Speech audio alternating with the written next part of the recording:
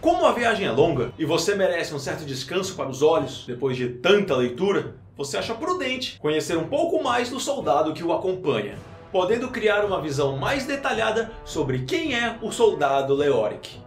De onde você é, soldado Leoric? Nascido e crescido no sul, sargento. E o que o levou a se alistar no exército de Ibaden?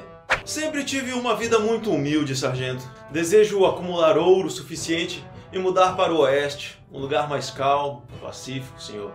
E o que você faria se mudando para o oeste, soldado? Me casaria, formaria uma família, ir para um lugar mais tranquilo, um lugar mais calmo, senhor.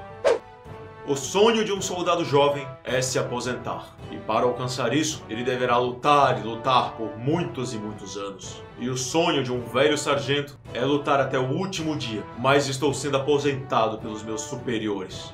Nada faz sentido. Você entende? A guerra constante não é para qualquer um.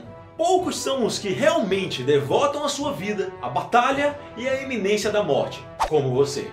Após algumas horas de viagem e conversa, conversa que ele acha trivial, mas para você é bastante útil, o sol baixa e é melhor levantar acampamento. Você prepara um chá, dessa vez de folhas castanhas. Um chá menos amargo. Você até oferece um copo para o soldado Leoric, mas o chá é amargo demais para o paladar do jovem soldado.